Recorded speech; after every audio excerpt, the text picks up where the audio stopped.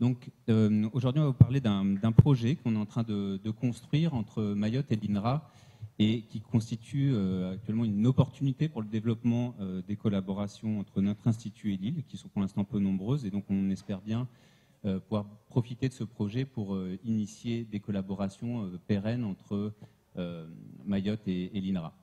Donc, euh, nous travaillons euh, tous les deux donc à l'INRA de, Tours, dans le département de santé animale, plus précisément dans une unité qui s'appelle infectiologie et santé publique, qui regroupe à peu près 250 chercheurs. Et donc, on travaille sur les agents infectieux qui impactent la santé animale et la santé humaine dans un concept dont vous avez peut-être entendu parler, qui s'appelle le concept One Health, une seule santé.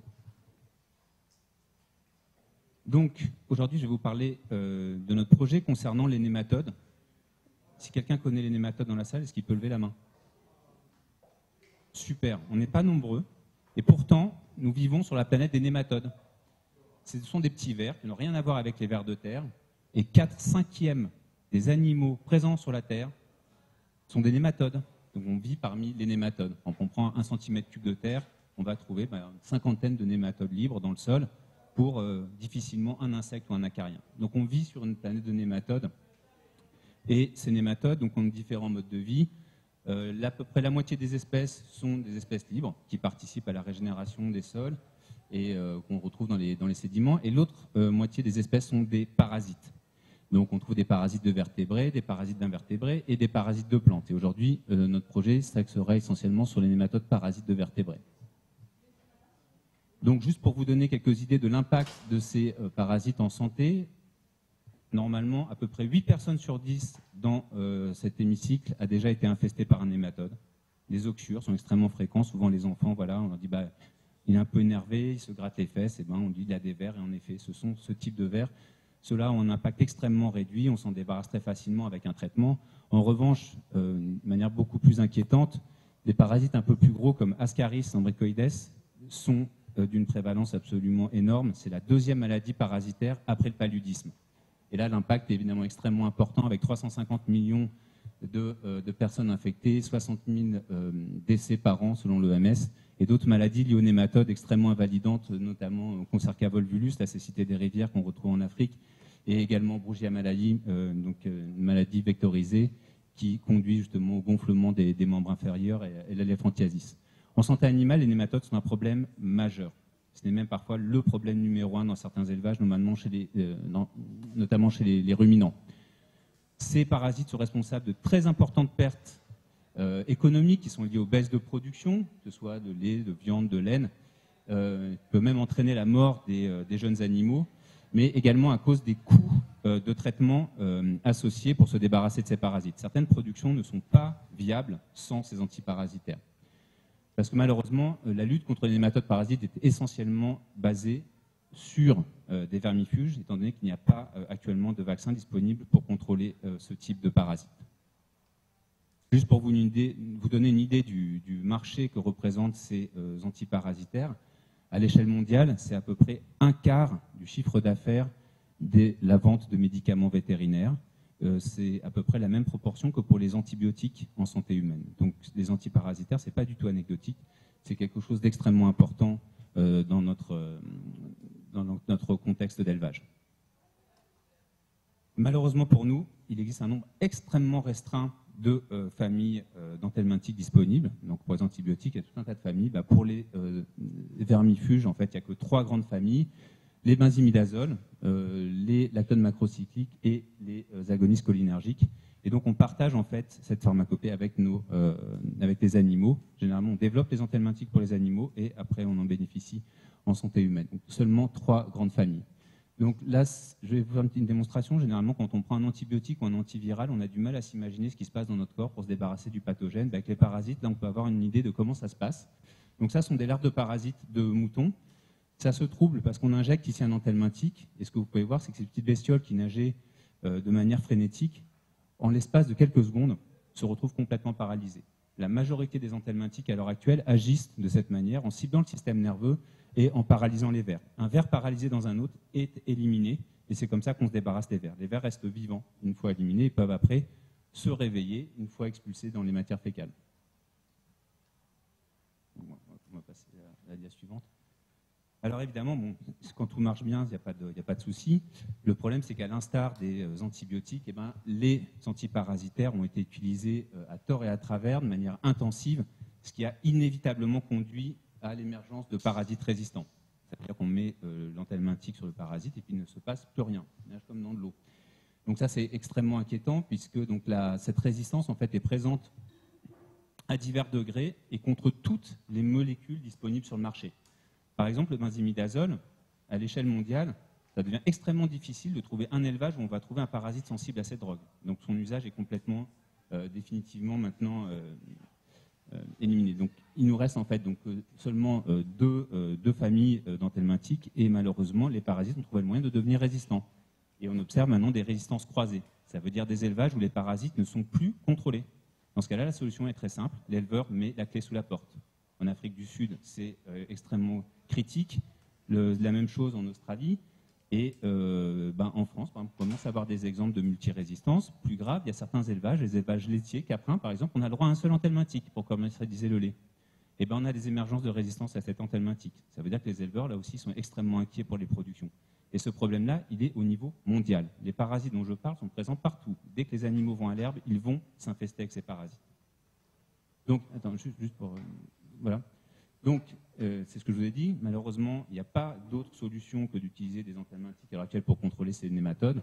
Donc, évidemment, l'utilisation raisonnée des antiparasitaires qui sont actuellement disponibles sur le marché, mais également euh, les vermifuges naturels plus respectueux euh, de l'environnement, s'ils répondent à l'heure actuelle à une demande sociétale, c'est également une nécessité absolument absolue pour les éleveurs. Donc juste pour vous donner un exemple, pour comment on a sélectionné la résistance, bah, tout simplement quand on a une molécule ou un médicament qui est efficace, et eh ben, on l'utilise le plus possible. L'objectif c'est parasite zéro pour augmenter évidemment ses productions. Donc dès qu'on a un petit verre rouge comme ça qui apparaît dans le ici un, exemple de mouton qui va développer une résistance, bah, évidemment quand on va utiliser la molécule, les seuls parasites qui vont se retrouver à l'état libre et au stade infestant sur les pâtures vont être les parasites résistants. Ça veut dire que très rapidement en fait on va retrouver des parasites résistants dans tout l'élevage. Donc, dans ce contexte-là, bah, l'idée, c'est déjà, dans un premier temps, de faire comprendre aux éleveurs qu'il va falloir changer leurs habitudes euh, d'élevage. Ça veut dire qu'il va falloir donc, plutôt que de traiter de manière irraisonnée, c'est faire des traitements ciblés pour maintenir euh, en fait des vers sensibles dans les populations, pour maintenir une certaine efficacité des antiparasitaires qui existent. Ça, c'est la première étape. Avant de faire quoi que ce soit, c'est l'acceptation par les éleveurs d'une certaine baisse de rendement pour éviter l'émergence des triples résistances. Parce que sinon, là, c'est la catastrophe totale. Donc ça, c'est quelque chose qui est en train d'être de plus en plus répandu à l'échelle mondiale, où on essaye justement de maintenir ces allèles de susceptibilité au sein des, populations. Mais évidemment, dans ce contexte-là, euh, euh, l'idée dans notre, dans notre équipe, c'est de développer des actes de recherche qui ont pour objectif d'élucider le mode d'action des antelmintiques, et là je vous ferai grâce de toutes ces manips de biologie moléculaire et d'électrophysiologie, mais qui nous permettent d'identifier donc les cibles de ces, de ces antiparasitaires, d'identifier euh, d'identifier les mécanismes moléculaires impliqués dans la résistance. Pourquoi ça c'est important? Parce que si on veut trouver des nouvelles drogues et que la drogue cible le, récepteur qui a été invalidé par la résistance, on perd juste notre temps et notre argent. Et donc évidemment identifier de nouveaux, nouveaux antelmintiques et si possible évidemment des molécules naturelles pour réduire euh, l'impact de ces intrants sur la faune sauvage. Dans, ce contexte-là, on peut se demander, mais en effet, avant l'avènement de tous ces euh, nématicides chimiques, dans les années 60, euh, bah, comment on faisait pour se débarrasser des parasites? Autrefois, on utilisait en effet des molécules naturelles. Et juste euh, à titre d'exemple, par exemple, au, Japon, pour se débarrasser des ascaris, eh ben, on mangeait des algues, deux espèces d'algues rouges extrêmement efficaces euh, contre ascaris, sans effet secondaire. La nicotine, un des aspects positifs de euh, la nicotine, c'est que c'est un excellent vermifuge. On vermifugeait des moutons avec de la nicotine. Chez les chevaux, on leur fait mâcher du tabac gris. Et ça fonctionne très très bien. Et la bonne nouvelle, c'est qu'on a pu démontrer récemment qu'en fait, la nicotine était capable de contrôler des isolats de parasites multirésistants. Ça, c'est un message important. Ça veut dire qu'avec des molécules d'origine naturelle, on peut contrôler la résistance générée avec des produits chimiques. Donc, dans ce contexte-là, notre objectif, c'est donc d'identifier des plantes mahoraises qui auraient des plantes, euh, qui auraient des vertus euh, anti-infectieuses et notamment euh, des propriétés antiparasitaires. Donc, je passe la parole à, à Mohamed pour vous donner plus de détails à ce sujet. Merci Cédric.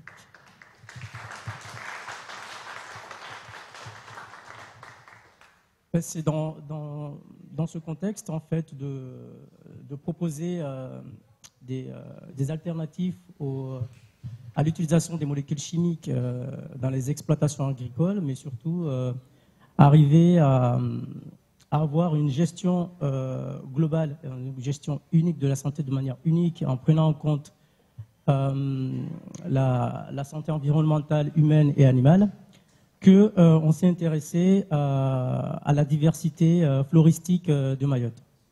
Euh, nous avons euh, à Mayotte euh, une faune qui est très diversifiée sur un territoire qui est quand même pas très large, mais avec une diversité florale qui est, très importante.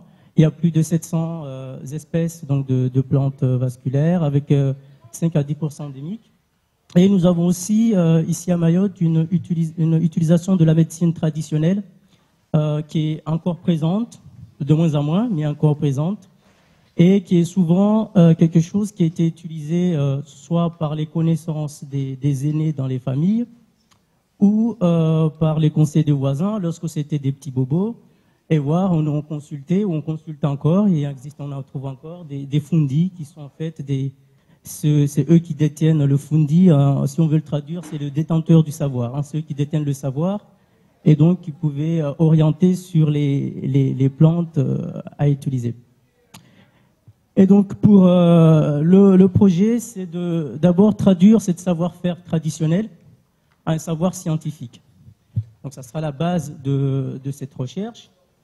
Et ensuite, d'essayer de, valider à partir de ce savoir-faire traditionnel, de sélectionner les plantes qui ont une potentiel le plus élevé pour étudier et valider l'efficacité de ces plantes.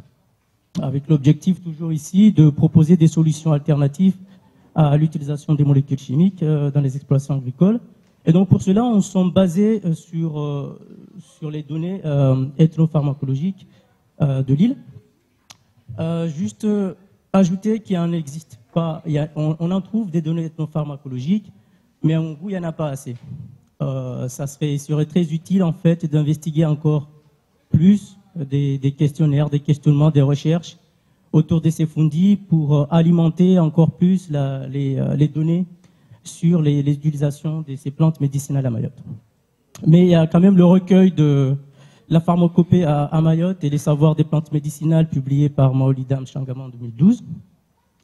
Euh, il y a aussi une association de valorisation des plantes médicinales ici à Mayotte qui s'appelle Avapam et qui est présidée par Salim Moussa, qui est un ancien professeur en bio et euh, qui a aussi des, ouvrages euh, euh, qu'on peut se procurer. Et donc, en se basant sur ces, données, j'ai sélectionné 12 plantes mahoraises à cribler, qui sont pour moi ceux qui ont le plus de potentiel pour avoir des effets antiparasitaires. Donc, ces, ces 12 plantes, on va les utiliser pour essayer de, voir leurs effets sur les, les parasites. Je voulais juste donner un exemple euh, sur euh, une plante qu'on trouve ici à Mayotte, mais qui est, répandue euh, ailleurs, dont il y a eu beaucoup d'études dessus pour savoir son efficacité euh, comme agent anti-infectieux. Et donc, c'est ce qu'on appelle ici à Mayotte 150 maladies. On l'appelle 150 maladies tout simplement parce que ça soigne énormément de pathologies, donc énormément de maladies. Et euh, sinon, c'est cette plante, en fait, au niveau scientifique, les recherches ont montré que c'était efficace contre les parasites, euh, comme les nématodes parasites que Cédric vient de, présenter, mais aussi une large panel euh, de pathogènes. Donc, c'est euh, des recherches qui sont en cours en ce moment, donc dans l'unité euh, infectiologie et santé publique. Mayotte, c'est un territoire qui est digitalisé mais c'est un, territoire qui est digitalisé depuis euh, très peu de temps. Si on parle euh, en, termes d'Internet, Mayotte a moins de 10 ans. Euh, le, haut débit est arrivé en 2012 à Mayotte. mais en très peu de temps, en fait, on a rattrapé énormément de retard. En très peu de temps, Mayotte s'est doté de quasiment trois câbles sous-marins, ce qui est inédit. en très peu de temps, on a des infrastructures terrestres qui se sont développées. 90 plus de 99% de la population est couverte, du territoire est couvert. On a de la DSL, de, la fibre, de, la 3G, de la 4G. On a vu arriver quasiment toutes les technologies en, moins de 5 ans. Euh, on a des politiques publiques qui sont très euh, incitatives, en tout cas très fournies, cas qui, soutiennent énormément le développement des infrastructures et des usages. Mayotte en tant que territoire français européen hérite en fait des, différents plans nationaux de, tels que le plan de France très haut débit et des financements qui vont avec pour, pour développer ces infrastructures. Donc aujourd'hui, on a tout ça en fait a amené quoi? A amené euh, finalement à, des usages qui se sont développés aussi vite que les infrastructures. On compte aujourd'hui à peu près 110 000 utilisateurs actifs d'Internet sur le territoire pour une population de 250 000 habitants. C'est près de plus de la, plus, de la moitié. quand on parle d'utilisateurs actifs, c'est des utilisateurs réguliers. On parle de 240, plus de 240 000 connexions mobiles, c'est 93% de la population près de 22% de cette population qui est déjà en fait euh, usagère en fait de, haut débit via le mobile. C'est 90 euh, 000 utilisateurs Facebook, c'est un peu particulier, c'est un petit chiffre qui, était, intéressant à voir, donc gros utilisateurs de médias sociaux. Euh, donc une population qui s'adapte vite au niveau d'usage, une jeunesse qui est de mieux en mieux formée et de plus en plus digitalisée. Donc c'est plutôt de bon augure pour parler après d'innovation dans le digital.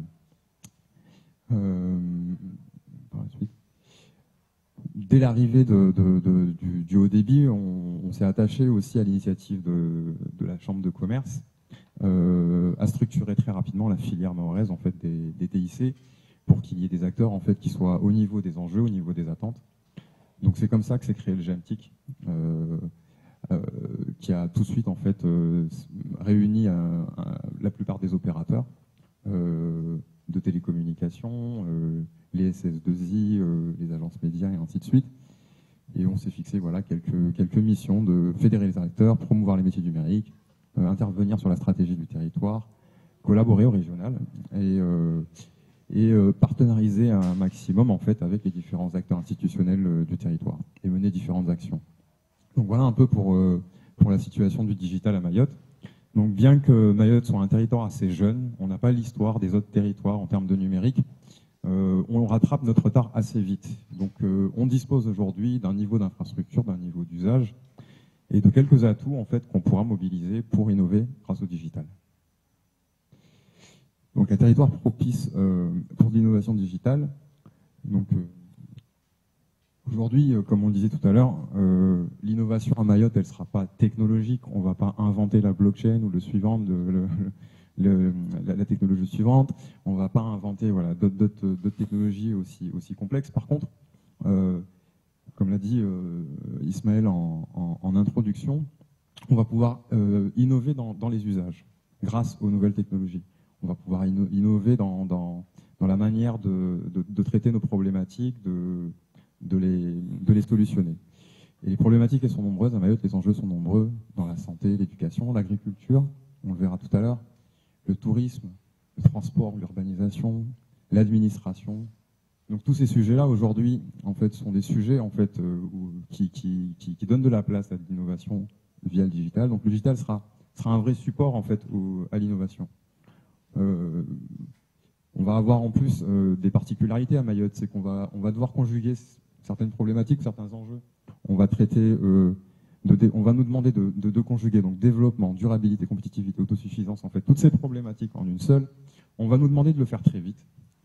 On, va, devoir, euh, comment dire, euh, faire avec les, notre contexte, c'est-à-dire une démographie qui est galopante, des exigences qui sont de plus en plus fortes.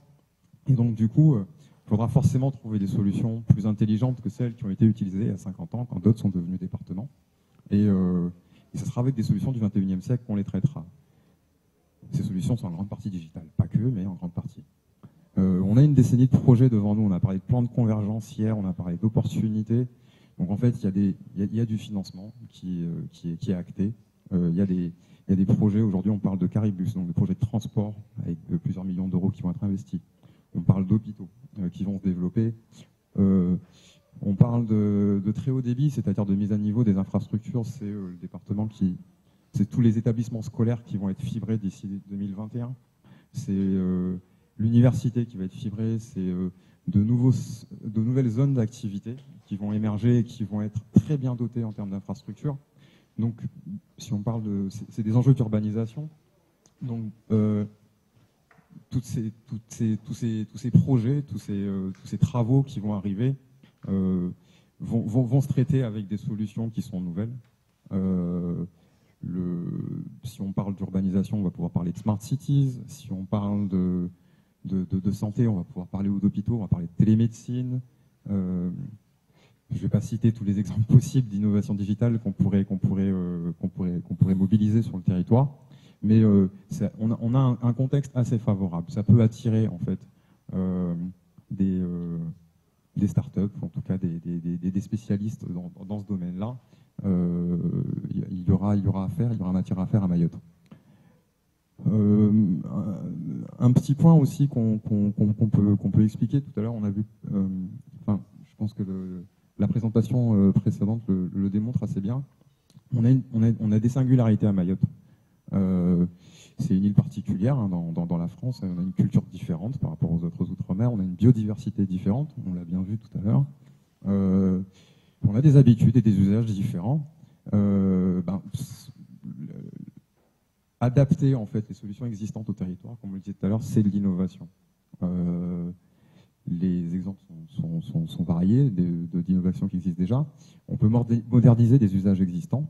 On a plusieurs, voilà. Mayotte, en fait, on a des, des, usages culturels. On parle de Moussada, de Chikoa et ainsi de suite, que sais-je. Euh, ben c'est des, des, précurseurs à, à, de la blockchain ou à, des, à de la tontine, mais traités avec, euh, avec des solutions maison. Euh, on, on, a un territoire là avec un climat particulier euh, voilà, des, des, conditions particulières, une géographie particulière. Parfois même, en fait, euh, on, a, on, on, pourrait revenir dessus, mais euh, on, subit des séismes récemment. Ça a attiré énormément de chercheurs. euh, donc il y a peut-être aussi des choses nouvelles. En tout cas, c'est à prendre comme une opportunité euh, dans, dans, le domaine de l'innovation. Euh, donc c'est un territoire où on peut prototyper, où on peut tester en fait des choses. Donc pour d'autres qui auraient créé ou innové en fait ailleurs et qui auraient besoin en fait de, de tester, ou en tout cas de, de, faire en sorte que de démontrer que, que, dans un environnement comme le nôtre, ou d'éprouver leurs solutions dans nos environnements, un Mayotte peut, être, un débouché. Voilà un peu les, deux, points que, je voulais soulever. On a quelques atouts euh, qu'il ne faut pas négliger. Donc on a un territoire euh, français, donc européen, on, a tous les dispositifs en fait que les autres territoires euh, ont d'appui en fait à l'innovation, en tout cas au financement de l'innovation. Parce que l'innovation, ça, coûte. on a les crédits d'impôt recherche, crédits d'impôt innovation. On a des structures comme la BPI qui, euh, qui, sont sur place et qui ont des dispositifs de financement par, du pré-innovation. On a les fonds européens tout simplement hein, qui, euh, qui, se mobilisent euh, plus facilement quand on est sur des sujets à caractère innovant. Et puis on le pense peut-être un peu moins, mais il y a des programmes européens comme les programmes H2020 en fait qui sont éligibles aux entreprises locales. Alors c'est peut-être difficile à, à intégrer directement en fait sur un, un, programme H2020 en tant que PME mahoraise, mais ça peut intéresser en fait des, euh, des startups qui sont ailleurs, qui auraient des projets, qui souhaiteraient localiser à Mayotte. Ah, ils savent qu'en venant à Mayotte, ben, ils restent éligibles. Euh, il y a des démarches qui sont en cours, en fait. On sait très bien que bon, Mayotte est un jeune territoire, je le disais tout à l'heure. Euh, L'innovation, ça nécessite un écosystème. Il y, a, énormément d'acteurs, en fait, autour. Il, faut, y, a, plusieurs stades avant de réussir à innover. Euh, Mayotte s'est saisi de ce sujet-là, toujours au travers de la CCI. Euh, le, projet phare, ça reste la Technopole qui va centraliser, en fait, un certain nombre de services pour accompagner euh, l'innovation, qui va essayer de mettre en relation les principaux acteurs de l'innovation, centres de recherche, universités, qui va créer des, solutions, des outils, des laboratoires, des incubateurs, des pépinières en fait, pour que justement l'innovation soit possible depuis le territoire. Euh, on a aujourd'hui quelques, structures un peu remarquables sur le territoire, telles que le CIRAD, l'ADEME, CUFR, donc qui ont qui, qui, sont des centres de recherche ou des centres d'appui à l'innovation qui sont très présents. Et, euh, puis voilà, un, dernier point, c'est qu'en fait on n'est pas les seuls à innover dans la zone. On va vouloir innover. On est au cœur d'une zone qui est assez dynamique. Euh, Il y a quasiment trois points French Tech dans la région. On en a un à La Réunion qui est le plus connu, avec une spécialité dans l'e-santé. on a une French Tech à Cape Town, en Afrique du Sud, et on a une French Tech à Maurice qui est présente. On a des projets euh, en Afrique de l'Est. Alors, je parle de Silicon Savannah, mais tout à l'heure, j'ai eu l'occasion d'échanger avec euh, euh, le représentant d'iHub qui me disait que le projet était, en pause. mais que la dynamique en termes d'innovation était toujours très présente et très, très, forte, en fait, au Kenya. donc, il vous a, pour ceux qui étaient là ce matin, près de 300 startups accompagnées par, par iHub. Donc, du coup, à quelques heures de Mayotte. On a énormément aussi d'incubateurs euh, dans la région. On va en retrouver à Madagascar, à La Réunion, euh, à Maurice, euh, en Tanzanie, et ainsi de suite. Donc autant de points de connexion, autant de d'approches ou de, contacts en fait qui peuvent, qui peuvent nous inspirer et, nous rassurer sur le fait qu'on peut innover dans le digital à Mayotte. donc voilà. je vais finir par donc euh, oui, effectivement, quand on parle d'innovation dans le digital, on entend souvent les mêmes mots revenir, donc je, les ai mis à la fin. Pour, euh, pour, montrer qu'en fait, euh, voilà, c'est quelques technologies qui font peur. Les termes, en fait, peuvent paraître un peu, science-fiction pour certains. Réalité virtuelle, réalité augmentée, intelligence artificielle, deep learning, big data, cloud, blockchain, objets connectés sans vous en rendre compte, souvent vous vous, les avez déjà utilisés, vous êtes passé à côté. Aujourd'hui, ces technologies, on n'a pas à les inventer, on nous demande de les utiliser. sachez qu'un grand nombre de jeunes Maorais déjà, ou de TPE, de PME, les utilisent. L'année dernière, au dernier forum économique, on a eu l'occasion de voir euh, euh, une démonstration de, réalité augmentée euh, au service de l'immobilier. Voilà, c'est comment visiter un appartement avant de l'acheter, comment le meubler avant. Ça peut se faire à distance, donc ça peut être sympa à Mayotte, hein, quand, on, vend des, logements à des gens qui ne sont pas sur place. Dans de la promotion, l'intelligence artificielle, le deep learning, j'ai vu à Mayotte quelques petits des, jeunes en fait jouer avec des frameworks et faire des simulations sur des vidéos, faire de la reconnaissance d'objets et ainsi de suite, et ça, fonctionne très très bien. Euh, aujourd'hui, on, l'utilise aussi beaucoup dans, la reconnaissance faciale. Euh, ce qui n'est peut-être pas forcément une bonne idée pour Mayotte, mais, euh, dans, le transport, par exemple, on avait vu un test, c'était du, suivi de trafic, voilà, via des vidéos. Aujourd'hui, on a des vidéos qui sont installées sur le territoire. Tout Mamoudzou est, encadré. On pourrait très bien savoir en temps réel combien il y a de véhicules qui circulent sur tel point ou tel point. Euh, les objets connectés, donc euh, quand on parle de smart cities, on parle souvent d'objets connectés indirectement. Euh, il y en a beaucoup déjà en fait localement, on en retrouve un peu partout. ça permet de, déployer des solutions intelligentes dans différents domaines. Et c'est des solutions qui sont déjà très, très utilisées. Et tout à l'heure, ça, ça, va faire la transition justement avec mon collègue d'après. ce projet est long et très coûteux. La recherche, c'est long, c'est très coûteux. Ça, il faut bien l'appréhender. Hein. Donc, euh, c'est à partir des résultats de la recherche qu'on pourra développer des applications. Donc, pour le moment, on est vraiment dans cette phase de recherche et développement.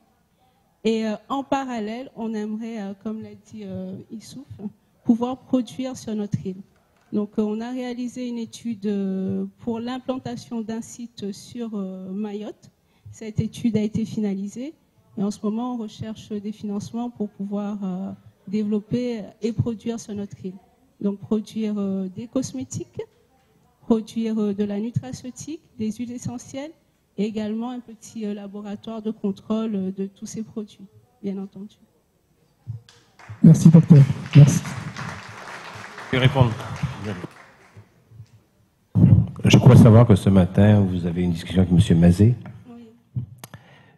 Il nous en a d'ailleurs, je peux déjà vous dire que nous vous verrons très rapidement et essaierons de, de faire une, coopération régionale avec Madagascar, car euh, votre cursus nous intéresse et il peut, il peut développer les deux îles sœurs en même temps. Inch'Allah. Donc, comme on l'a expliqué, le centre Cholanga, vraiment, on est parti sur ce détail qui est à Mayotte, qui est le manque de prise en charge, Depuis hier, on a parlé beaucoup de la santé, des futurs projets d'hôpitaux.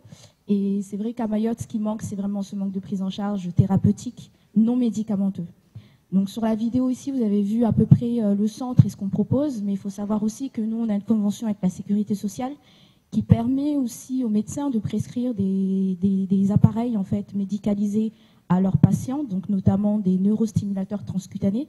Donc ça a déjà été prouvé par la science que ça avait quand même un effet sur les douleurs antalgiques. Euh, à Mayotte, on n'a aussi pas de maison de retraite malheureusement, donc du coup les personnes âgées se retrouvent sans prise en charge. Donc grâce à ces appareils médicalisés, ils vont pouvoir avoir des soins directement à domicile, notamment tout ce qui est incontinence urinaire et fécale. Euh, donc ça, c'est une partie de, de, Cholanga, mais après Cholanga, c'est aussi la prévention avant tout. Donc on travaille avec les entreprises, euh, les établissements publics et privés euh, sur tout ce qui est législation en matière de sécurité. Donc vous avez les défibrillateurs, l'installation, la maintenance, donc tout ça fait partie de nos attributs. Et grâce à la DIM, on a aussi fait des formations à l'international, parce qu'il faut savoir qu'on travaille aussi sur l'hydromassage, qui est du coup un produit qui pourra nous permettre, dans le cadre d'une coopération régionale, de pouvoir le proposer euh, aux, îles voisines, aux pays voisins, parce que l'hydromassage, c'est aussi euh, le tourisme, c'est aussi la santé, et on veut vraiment venir mettre en avant ce, ce, Made in Mayotte qu'on peut avoir et tout ce potentiel-là qu'on peut proposer euh, à l'extérieur. Laurent Guichawa, je suis agriculteur à, à Combani, installé avec ma, ma conjointe.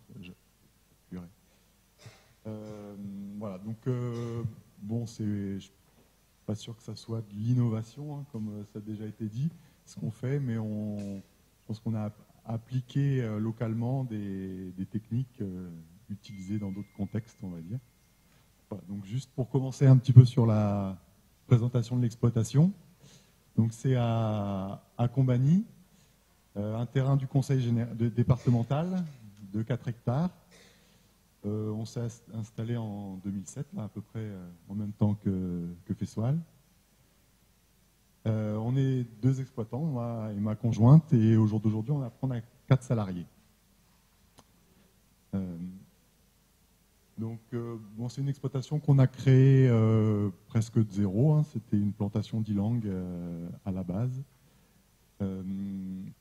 donc, on a eu un premier financement du conseil départemental et de l'État pour euh, l'installation de départ, hein, avant de, disons que avant avant d'innover, avant de commencer à être un peu créatif, il s'agissait de s'installer et, de, et de, se mettre en place. Donc on a, bon, on, est passé hein, à la CAPAM, euh, c'est bien par un peu toutes les, toutes les grandes étapes d'une installation, hein, c'est-à-dire gérer l'accès à l'exploitation, donc euh, voilà, on a fait un, on a fait un pont, euh, une piste qui a été faite par le conseil départemental. On a sécurisé notre approvisionnement en, eau, donc on a fait des, citernes. Là, je dirais qu'on a eu euh, un peu le, nez creux, hein, parce que maintenant c'est le, c'est le nerf de la guerre pour la production. Et voilà. Et en, parallèle de ces, de ces gros travaux, on a commencé la, la production donc euh, un peu dans, un peu en tous sens. Hein. on a essayé, on a fait, on fait du maraîchage, on fait des fruitiers, on a aussi du, verger, euh, on a aussi des moutons. Donc euh, différents ateliers. Et puis ben, progressivement, on a choisi les cultures qui, étaient pour nous les plus, les plus intéressantes.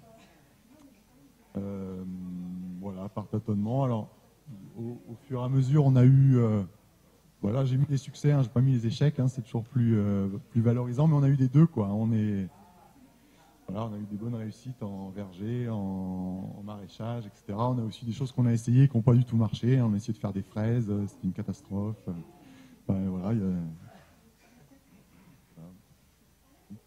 Après, en termes de commercialisation aussi, on a tâtonné un petit peu. On, est, on a d'abord dans une première phase, on vendait sur les marchés. Je sais pas si qui se rappelle du, du Réunionnais qui était à aussi, on, a fait avec lui. Bon, voilà, c'est des choses qui prenaient beaucoup de temps, etc. On a fini par euh, choisir un, autre mode de, commercialisation euh, par une coopérative. Donc, on a créé avec un groupe d'agriculteurs. Euh, voilà, ça, ça nous a permis de vraiment nous consacrer à, la production sur l'exploitation. Et en gros, à laisser à la coopérative le travail de, commercialisation. Donc ça, c'était un peu toute la mise en place de, l'exploitation. Et euh, voilà, connaissant un peu mieux après l'agriculture à Mayotte, le marché, les contraintes, on a fait un pari. Hein. je pense que c'est là que ça ressemble un peu à l'innovation, c'est que c'était quelque chose qui se faisait pas, euh, qu'on a essayé, qu'on a essayé de mettre en place. On savait pas trop si ça allait marcher. Donc on a adapté des techniques, hein, ça se fait ailleurs. C'est pour ça que je dis que c'est pas vraiment du. C'est comme, euh, comme d'autres choses. On n'a pas inventé quelque chose, mais on, on, a fait le pari de l'adapter localement. Souvent, hein, c'est quelque chose qu'on n'utilise pas quand il fait aussi chaud. On n'a pas forcément d'exemple. Donc là, on voit un petit peu les, travaux. Alors on utilise des nouvelles technologies. Hein, euh, parce que voilà, s'il y a une panne d'électricité, euh, le système d'arrosage, il m'envoie un texto hein, pour, euh, pour me dire parce que ça, va, beaucoup plus vite. voilà, donc là, c'était plus récemment, ça date d'un peu plus d'un an, on a installé un système de production de salade parce que c'était une des choses sur lesquelles on avait le plus de demandes comme produit. Donc c'est dans des, c'est dans des gouttières. Alors on est arrivé aux gouttières aussi pour les mêmes raisons, on va dire, c'est qu'on n'a pas fait au début forcément les bons choix. On a cultivé des salades déjà en pleine terre, mais on n'avait pas forcément trop les erreurs du débutant, on n'avait pas trop calculé nos rotations, on n'avait pas non plus 50 hectares pour changer de parcelle, et on a eu tout un tas de nématodes qui, entre autres, hein, mais qui nous ont bien cassé les pieds. Donc on, a fait le choix de passer en, hors sol. Voilà. Donc euh, voilà, c'est un, peu de technique sur l'installation. Mais euh, le principe, c'est qu'on fait passer de l'eau dans des gouttières. On y euh, plante les salades dans des tout petits cubes de, laine de roche, là, qui sert de support. Et après, c'est l'eau qui apporte les sels minéraux, etc. Donc c'est économe en eau.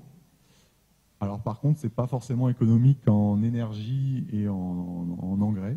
Mais bon, c'est... Euh, euh, par contre, voilà, sur une petite surface, on arrive à produire pas mal de, une bonne production et, et on arrive à le, à le, maintenir dans la, dans la durée. Euh, voilà. Donc, bon, résultat, c'est quoi? On produit actuellement depuis, depuis un an et demi à peu près 2 à 3 000 salades par, par semaine et en consommant deux fois moins d'eau pour, la, enfin, voilà, pour faire plus de salade qu'avant. Donc là-dessus, on est quand même assez satisfait. Euh, euh, voilà. C'est ça qui a permis aussi à l'entreprise de passer euh, salariés quand on était en, pleine terre à, quatre salariés maintenant, parce que c'est un atelier qui est plus, plus, intensif, on va dire. et puis à, différents niveaux, la coopérative, ça a sécurisé des, volumes de commerciaux, donc ça, améliore les, choses à ce niveau-là. Et même on a des clients du coup qui, ayant un approvisionnement euh, plus régulier, même régulier maintenant en, salade, ont fait le choix de privilégier euh, une production locale par rapport à, par rapport à de l'import euh, des, mêmes produits détail, mais j'ai un torticolure, j'y pense, mais que c'est, maintenant on bosse à, un mètre au-dessus du sol, et après avoir fait de la salade par terre pendant dix ans, euh, on apprécie bien. Et hum, voilà, on reçoit des classes aussi du lycée de Coconi, et, et ça plaît, ça, donne une image euh, dynamique, on va dire, de, l'agriculture. Et là, voilà, on avait une classe qui était euh, vraiment dynamique et, si on, et, qui, j'espère, seront peut-être euh, motivés par la suite pour, pour enchaîner dans l'agriculture. Et c'est peut-être eux qui seront les entreprises innovantes de demain. Juste pour. c'est pas pour. je veux pas me forcément mettre en avant. D'ailleurs, j'avais un peu peur quand on m'a dit qu'il y avait l'INRA on, a fait, on a un atelier euh, hors sol. C'est bon, c'est critiquable aussi par quelques aspects. Hein. Je disais que c'est gourmand en énergie, c'est aussi gourmand en, engrais. Euh, mais euh, disons que ça nous a permis nous d'installer un atelier qui soit viable économiquement et après, de, voilà, je vais, je vais le montrer un peu après, aussi de développer sur le reste de l'exploitation des vergers pâturés qui sont, eux, beaucoup plus dans une dynamique euh, durable, euh, d'agriculture raisonnée, etc., euh, sans intrants. Euh, voilà, donc bon, il- tout, ça, c'est une histoire de compromis qu'on met en place. Là-dessus, alors, je dirais que nous, le, le ce qui a été le moteur un peu de, de l'innovation, on va- entre guillemets, c'était ça a vraiment été par des par des voyages. Le fait de, de bouger, de se rendre compte que voilà, on pouvait avoir d'autres productions, on pouvait avoir des gens qui qui réussissaient dans dans différents contextes. C'est vraiment ça qui ces voyages-là qui donnent les idées et qui permettent de se dire non, c'est c'est possible. On n'a pas juste ce qu'on a sous les yeux. Il y a d'autres d'autres choses. Et puis après, euh, bah dans ces voyages, en plus, on voit d'autres choses. Et puis, disons que les, idées, on les arrête pas. hein.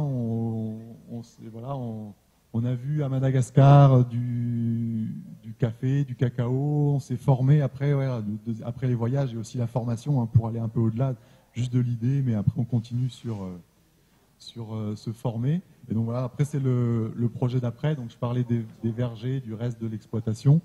Euh, là, on est en train d'y mettre euh, pas mal de, de, de- café, de cacao, et pour essayer de, voilà, de créer une, aussi une nouvelle filière sur, euh, sur, ces, sur ces produits.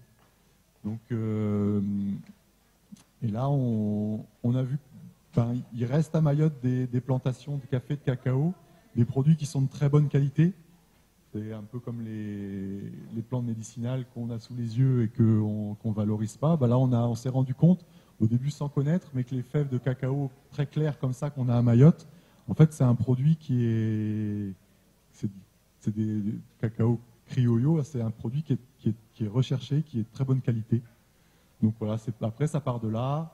On, et puis on, repart, on visite, on creuse, on recherche on se rend compte que ben voilà, il y, en, a, il y a des producteurs qui sont intéressés par en, produire, hein, donc ça peut être le cacao, ça peut être des plantes médicinales, ça je pense que les gens ils sont toujours euh, pareil sur, euh, bon, je parlais aussi du café, hein, il, y en a, beaucoup, on fait des essais et puis voilà, on, essaie d'organiser une filière et, puis voilà, si, tout se passe bien, peut-être que d'ici euh, un an, c'est- ouais, euh, on aura à Mayotte peut-être euh, une, brûlerie de café et puis un, un petit atelier de une petite chocolaterie.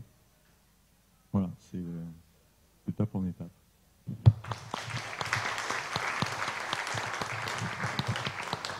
Bonjour, merci à tous et merci à la DIM de me donner l'occasion de parler devant vous. Euh, merci pour l'introduction. Ça me permet, euh, je vais essayer de faire vite et ça me permet d'enchaîner euh, sur la deuxième page. Euh, donc on a parlé de, donc comme il disait, les pratiques, les pratiques qui ont été poussées étaient concentrées sur la productivité. Mais maintenant, la productivité, ça ne suffit plus. Donc, on a besoin vraiment de se concentrer sur, sur le fait de pouvoir fournir des solutions, enfin des produits de qualité, mais surtout que les agriculteurs puissent s'en sortir dans leur activité. Puisque pour moi, il est incohérent que le secteur d'activité qui porte un peu notre civilisation, hein, si on mange grâce à eux, ben eux, ils, ont, ils sont en galère, pour faire simple.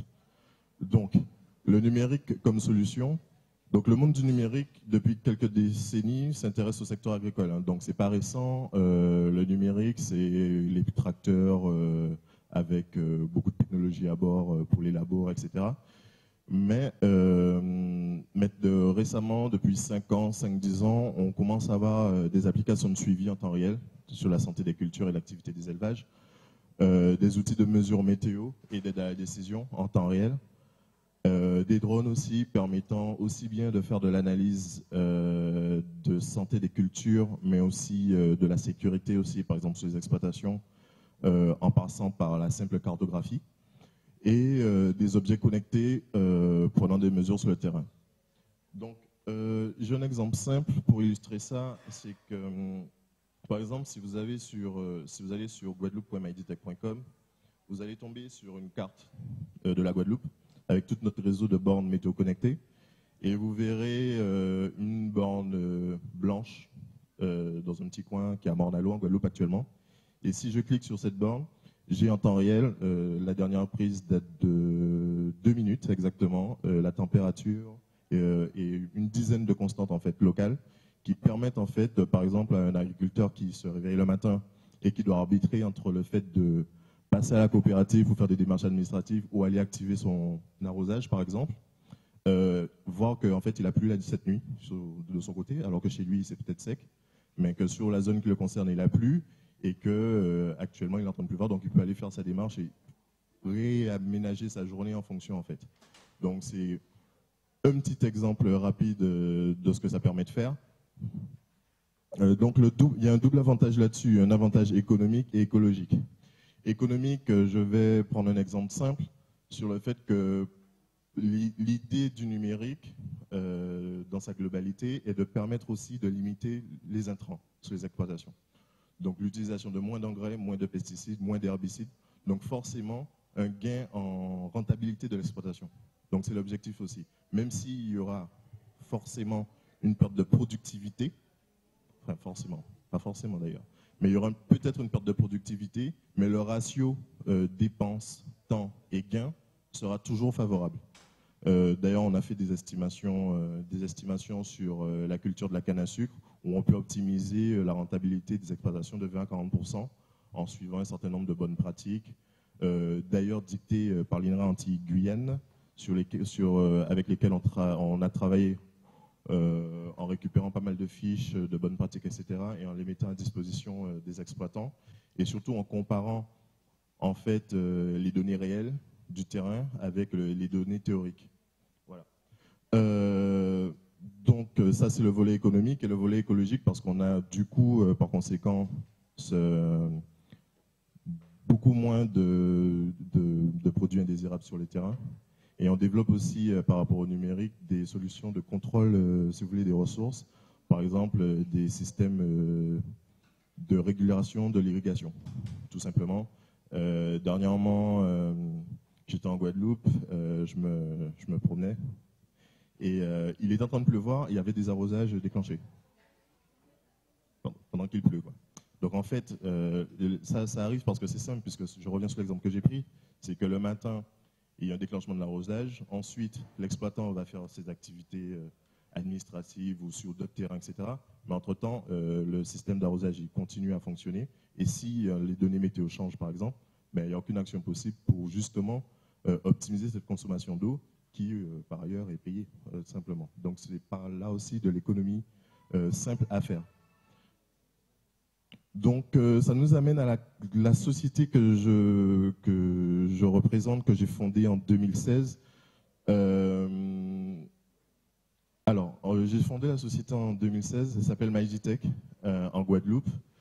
elle vient d'un constat simple. J'ai grandi, euh, mes parents sont agriculteurs, donc j'ai à peu près, j'ai 33 ans, donc j'ai à peu près 23 ans de conscience euh, dans le domaine où j'ai pu observer euh, analyser et même agir dans le secteur et constater surtout toutes les difficultés que peuvent rencontrer un agriculteur, aussi bien sur son exploitation, mais dans l'administration de celle-ci avec euh, tout ce qu'il y a comme déclaration de surface à faire, procédés, euh, divers et variés administratifs. Donc après la crise de 2009 en Guadeloupe, euh, je me suis un peu rapproché de l'exploitation familiale et on a commencé à un peu étudier, voir ce qu'on peut faire. Enfin,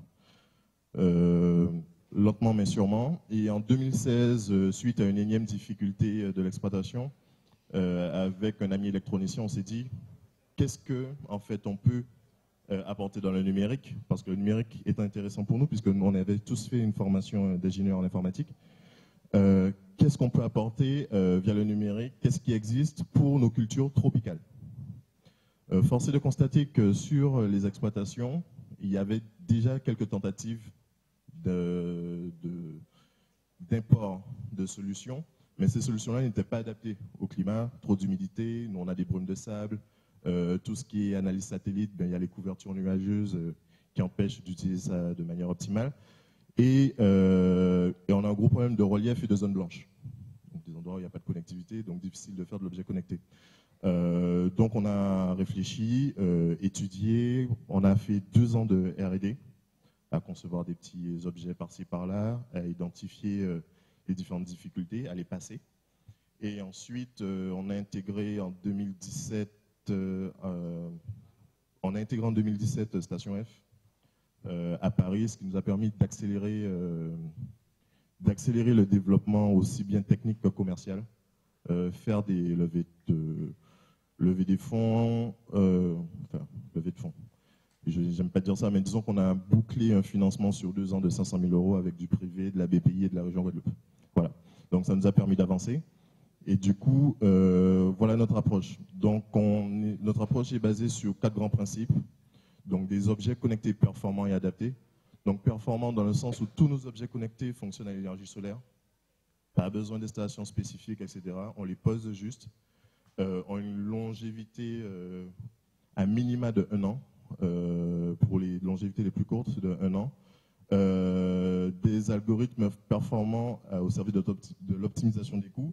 Alors dans ce cas-là, c'est précisément, par exemple, pour une cartographie, si vous voulez faire une analyse de champ, grosso modo, en ce moment, c'est, je crois, 200 euros l'hectare qui est facturé. c'est hors budget pour de nombreux agriculteurs. Le, ce coût-là est dû au fait que les drones d'analyse qui sont utilisés pour ça coûtent euh, entre 5 000 et 20 000 euros. Donc il faut amortir les coûts forcément. Les drones coûtent ce prix-là parce qu'ils sont équipés de capteurs spectraux qui permettent de donner euh, des résultats euh, quasiment instantanément après un survol. Nous, ce qu'on a fait, c'est qu'à partir de drones civils, qui coûtent 1500, 2000 euros en investissement, et en travaillant sur les algorithmes d'analyse d'images haute définition, on arrive à obtenir euh, des résultats sensiblement euh, similaires. Euh, donc on arrive à proposer du survol à 20 euros l'hectare, par exemple. Donc voilà. Des développements plus près des cultures locales.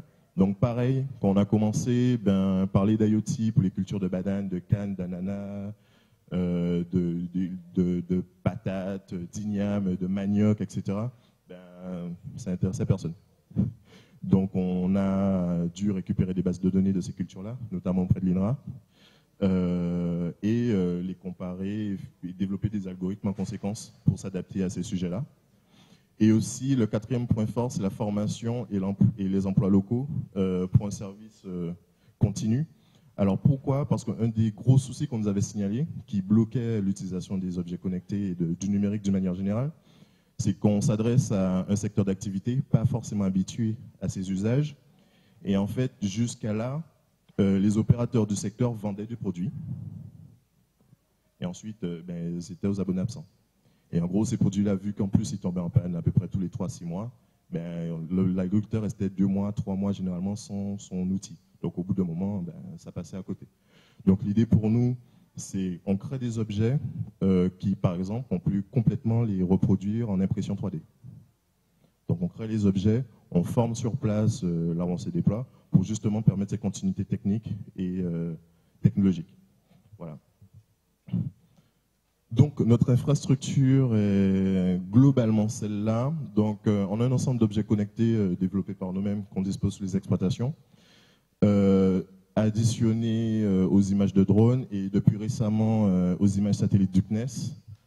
Euh, on récupère un tas d'infos que, disons, on va mélanger tout ça au niveau d'un serveur régional, puisque je le précise, les datas sont traitées sur des serveurs qu'on installe sur les régions cibles.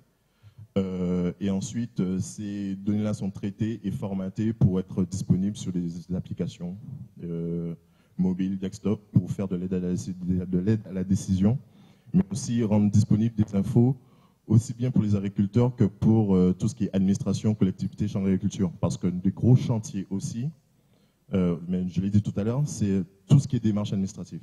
Le temps perdu par les agriculteurs sur ces démarches-là est absolument incohérent.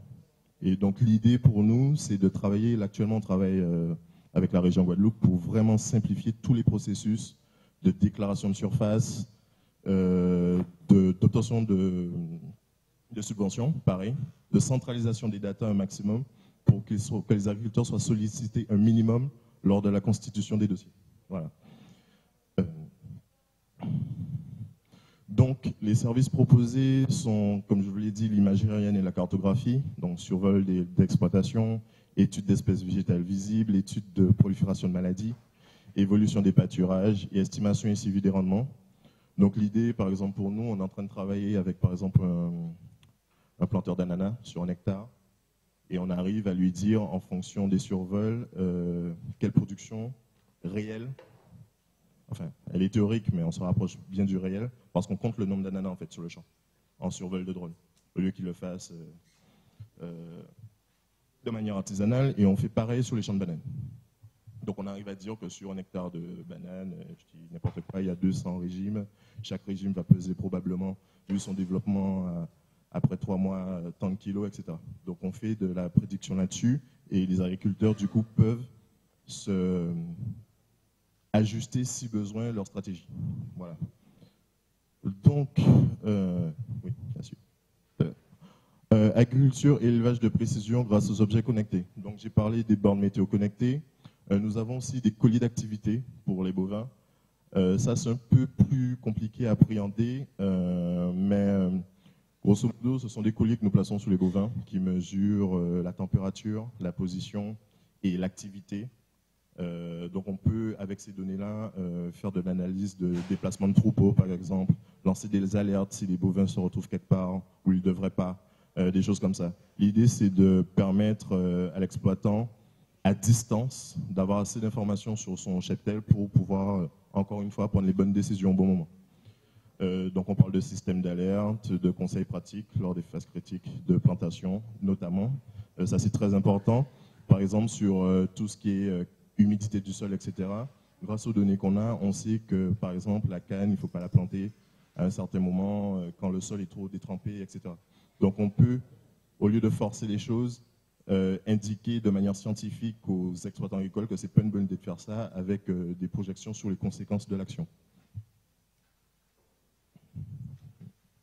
Donc euh, la sécurité. Alors c'est un volet que quand a créé la société, on n'a pas du tout, c'était pas du tout un, un, pôle pour nous, mais au fur et à mesure, on s'est rendu compte que c'est l'inquiétude principale.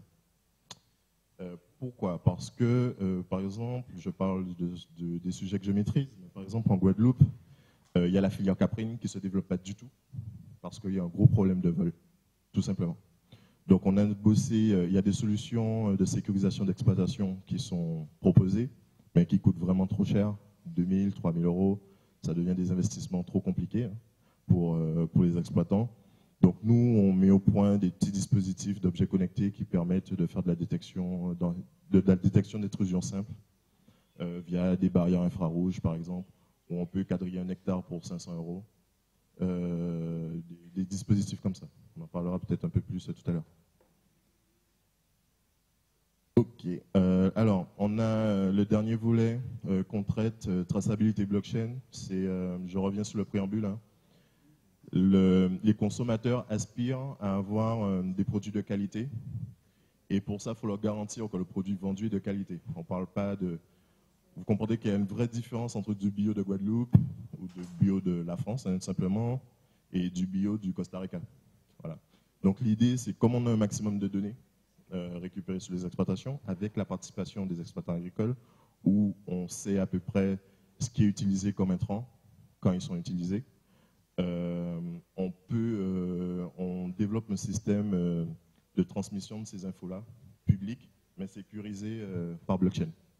Donc l'idée derrière, c'est de vraiment, si un consommateur veut consulter les informations du producteur de, la banane qu'il achète, ben, qu'il puisse remonter à la, parcelle exacte d'où vient sa banane, ou en tout cas régionale, et qu'il puisse avoir assez d'informations sur tout ce qui est consommation d'intrants, tout ça. Consommation ou pas. Donc on a aussi, euh, par la force des choses, euh, un petit service sur mesure qu'on développe. Euh, je vais prendre des exemples simples. Hein. On n'a pas développé de choses spécifiques pour les poulaillers, pour les élevages de poules. On a eu des demandes là-dessus, donc on a fourni des services sur ça. On a eu des demandes pour... Un Français qui fait de la soie au Vietnam, qui nous a demandé des capteurs pour ses entrepôts en fait, de soie, où il y a des températures, des humidités à pas dépasser pour une bonne production. Donc voilà, on arrive à lui donner des informations assez précises en temps réel sur, sur, ses, sur, ses, sur sa culture en fait. Donc petit récap rapide de tout ce que je vous ai dit, on peut passer. Euh, alors, l'avantage, donc comme je vous disais, euh, ça c'est un petit exemple sur 10 hectares. Euh, bon, on va voir le vrai, le résultat réel. Ça, c'est le résultat théorique. On aura le résultat réel à la prochaine, à la prochaine récolte. Mais par exemple, sur 10 hectares de canne, où on a estimé qu'on a pu économiser 40% sur juste l'utilisation d'engrais et d'herbicides, ben, on arrive à sortir des bénéfices de 8000 euros supplémentaire sur un an euh, pour un exploitant qui a euh, investi globalement, euh, enfin théoriquement, puisque c'est un test, qui aurait investi théoriquement 3 000 euros à peu près sur notre techno. Donc il a un bénéfice de 5 000 euros au final. donc voilà, voilà ce qu'on peut, peut avancer. Donc voilà la modélisation de notre bande météo qui est euh, pas qu'une simple bande météo, qui euh, nous permet en effet de récupérer toutes les minutes, toutes les constantes euh, qu'on lui demande. Il y a une dizaine plus la qualité de l'air qui est importante. alimentant solaire. ça, c'est la version 2. Notre version 3, qui est déjà en modélisation, va intégrer une éolienne, une micro-éolienne, puisque suite au passage de Maria, on a eu alors à la base, pour l'histoire, nos bandes météo avaient un panneau solaire de 50 watts. Euh, maintenant, ils, sont, ont des panneaux solaires de 100 watts à cause de Maria. En gros, quand Maria est passée, euh, on est resté, je crois, 6 jours sans soleil, presque, avec un ensoleillement très faible. Donc on a perdu quasiment tout notre parc de bornes, toutes les batteries sont mortes. Euh, donc pour pallier à ça, on a augmenté la, puissance des panneaux et on est en train de coupler le solaire à l'éolien, comme ça on aura de l'énergie tout le temps. Donc grosso modo, ces bornes-là, sauf catastrophe extrême, euh, fonctionneront tout le temps. Hmm?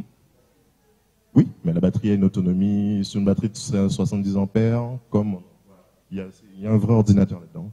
Il y a un micro-ordinateur, mais ça consomme quand même. On a une autonomie de 4-5 jours maximum. On avait à l'époque une autonomie de 4-5 jours, donc 6 euh, jours sans soleil. Hmm? Elle n'était pas suffisante, pas assez d'efficacité. Donc du coup, forcément, euh, donc ça, plus les feuilles qui sont tombées sous les panneaux, les choses comme ça. Donc bon, c'est un ensemble d'éléments qui font qu'on a amélioré nos process, mais aussi euh, rendu les bandes plus performantes. Donc ça, c'est la bande euh, que vous voyez, qui euh, c'est la bande blanche sur la carte, qui est à Mornalo actuellement. c'est la version réelle de la modélisation. Donc les batteries sont enterrées. L'antenne que vous voyez, c'est une antenne d'émission LoRa, euh, pourquoi euh, le LoRa? Parce que justement pour lutter contre le phénomène de zone blanche, on travaille euh, en ondes radio. Donc tous les objets connectés qu'on dispatche les exploitations communiquent avec le réseau de météo. Un peu comme un système de neurones où certaines des bornes ont Internet. Et donc du coup, tant que le message n'arrive pas à une borne qui a Internet, ben, le message est échangé entre les bornes. Donc jusqu'à ce qu'on arrive à une borne avec Internet, etc. Donc, euh, pour l'instant, elles sont connectées en 3G, mais pareil avec le CNES, on va bosser pour qu'elles communiquent en satellite dans les zones très compliquées. Et euh, voilà. Donc, on a dû mettre en place notre réseau LoRa puisque les réseaux existants, ben, aux Antilles, il n'y a que le réseau Sigfox. Les opérateurs euh, nationaux ne s'intéressent pas du tout à nos régions là-dessus. C'est quelque chose qui m'a été dit en direct. Donc, et Sigfox, ça coûtait toujours dans l'esprit d'économie et de proposer des services le moins cher possible. On était trop limité, ça coûtait un peu cher. Donc voilà, donc on, fait, on a fait simple, on a fait notre réseau. Donc là, c'est un exemple, c'est la modélisation de notre collier d'activité qu'on va mettre en test euh, le mois prochain sur un vrai, sur un vrai cheptel d'une trentaine de vaches. Euh, donc voilà, petit collier. Au début, euh, la première version était comme ça. Maintenant, c'est juste comme ça. J'avais un, un, exemple, mais je l'ai oublié à l'hôtel, mais c'est pas grave. Mais voilà, c'est un tout petit collier qui pèse pas grand-chose et qui est adaptable aussi bien aux bovins qu'aux caprins. Et on a eu des demandes pour euh, des brebis, mais euh, bon, c'est à l'étude. Toujours le même collier. Donc ça, détecteur de présence humaine. Donc euh, c'est un boîtier qu'on a développé, toujours alimenté au solaire, qui on le pose quelque part, peu importe l'endroit, il est étanche et en fait nous, nous lance des alertes quand quelqu'un rentre dans un rayon de 12 mètres, tout simplement. Donc c'est un truc qu'on a développé toujours au coût minimum pour permettre à ceux qui le veulent, par exemple, positionner ça devant un entrepôt où il y a du matériel agricole, des choses comme ça. Alors, notre gros sujet du moment, c'est sur ce qu'on travaille, on espère sortir euh, euh, le, prototype définitif euh, le mois prochain, c'est la barrière infrarouge, qui haute de 2 mètres, 2 mètres 30 à peu près, et qui nous permet de quadriller une exploitation, et dès que le faisceau est franchi, en fait, lancer des alertes. On a modifié ces capteurs-là, enfin, les les capteurs en eux-mêmes ne euh, sont pas modifiés, mais on les a complétés avec un système d'alimentation solaire. Pour euh, plus d'autonomie, on est sous des autonomies de 10 jours presque. Donc, euh, voilà. Donc, notre prochain défi, enfin défi, notre prochain sujet à moyen terme, système de contrôle d'irrigation pour pallier au problème que j'ai mis tout à l'heure, c'est-à-dire en gros il pleut, pas besoin d'arroser. Pas besoin d'arroser à midi non plus, c'est pas très conseillé. Voilà, donc vraiment économiser au maximum la consommation d'eau et déclencher, actionner ou éteindre à distance euh, tous ces outils-là. Aussi un système de détection de fuite, puisque bon, on a des gros problèmes là-dessus en Guadeloupe, donc euh, voilà. Alors, à moyen terme aussi, les robots désherbeurs, grosse demande. pourquoi? Parce que, en fait, si vous voulez, avec l'avènement du bio, il y a beaucoup d'agriculteurs déjà, euh, dans nos régions qui limitent au maximum l'utilisation des, herbicides. Euh, d'ailleurs, avec la disparition des molécules et l'interdiction à vendre du Roundup, tout ça, ben, ils n'ont pas vraiment euh, beaucoup de solutions. Donc maintenant, l'herbe est tondue à la débroussailleuse généralement. le problème, c'est que ça prend du temps, ça consomme de l'essence ou du gasoil, de l'essence plutôt, et c'est pas forcément plus écologique. Donc en fait, il y a des systèmes qui existent déjà photos là, euh, de robots désherbeurs, de robots sarcleurs, mais qui ne sont pas du tout adaptés euh, euh, à nos reliefs. Grosso modo, vous voyez ça, là, tous les, quatre robots, les quatre exemples bossent sur des billards, de terrain plat, zéro roche. J'ai vu avec les fabricants, tous les quatre, ils n'ont pas prévu de faire de version qui traite, les terrains accidentés. Donc, c'est-à-dire, c'est pas fait pour nous. Donc euh, du coup, euh, on a regardé avec euh, mon ingénieur en R&D, on a un peu décortiqué le sujet et on a des possibilités, mais bon, comme on peut pas tout faire en même temps, ça sera d'ici janvier 2020, en fonction de la levée de fonds, tout ça. Mais on va s'attaquer à ce sujet-là parce qu'il y a un gros, potentiel là-dessus, un gros besoin. Donc tous ces données-là, bien sûr, au solaire et autonome en énergie. Donc, euh, nous sommes actuellement soutenus par Outremer Network, BPI France, euh, qui a participé à notre première phase de financement, la région Guadeloupe aussi, qui a participé. Récemment, on, a intégré l'outil en fait pour propulser les startups du CNES. Euh, donc, on, a, on bénéficie d'un accompagnement du CNES et on accède aux données satellites et à tout ce qui est communication satellite. Euh, je ne l'ai pas mis, c'est un oubli d'ailleurs. Euh, on est aussi soutenu par KPMG, euh, grosse boîte d'audit sur ce qu'on fait, qui nous accompagne dans tout ce qui est business plan, mise en place, tout ça. Puisqu'on a été lauréat du concours innovation en 2017 et depuis, on est dans leur, on est dans leur, dans leur encadrement. Donc en conclusion, je dirais que notre vocation de MyDitech, c'est vraiment d'apporter le numérique à tous les agriculteurs de l'exploitation de 1 hectare à celle qui fait 300, 400 hectares. Et euh, on pense vraiment que ce sont des outils qui, de manière très simple, enfin très simple à l'utilisation, euh, qui vont nous permettre d'atteindre les objectifs fixés et des objectifs logiques que sont la diminution de la consommation des, des, des intrants, une meilleure utilisation des ressources naturelles et surtout un meilleur revenu pour les agriculteurs. Voilà. Euh, dans la continuité de ce que vous venez de dire, j'ai pas de question non plus. Gaëtan Longeau, donc directeur régional de la Poste de Mayotte. Juste pour vous dire que moi j'assiste à donc ces deux jours de forum économique. Euh, je suis mais euh, complètement mais agréablement surpris par ce qui se passe à Mayotte et vous rassurer sur un point. la Poste à Mayotte a une vision très très spécifique de ce qui doit se passer prochainement et du format start-up de Mayotte. Et la bonne nouvelle, c'est qu'avant la fin du mois, on sera la première direction régionale ou nationale à être au 100% numérique. Et ça, c'est pour moi très très significatif, c'est que euh, il y a 37 directions régionales au national et on sera la première et dans les médias la seule à être au 100% numérique. Et donc ça, ça prouve juste une chose, c'est que tout à l'heure, il y, a aussi des sceptiques du numérique où le monsieur disait euh, pour une petite exploitation de 4500 mètres carrés, qu'est-ce que ça peut venir faire? Euh, La bonne nouvelle, c'est que par exemple, le numérique va vous apporter, et, c'est une bonne nouvelle, et ce qui explique aussi ma présence là aujourd'hui, c'est de vous annoncer la bonne nouvelle, c'est qu'une des filiales de la Banque Postale, qui s'appelle KissKissBankBank, Bank Bank, qui est un site de crowdfunding, euh, qui est donc un financement participatif, va voir le jour très très prochainement à Mayotte.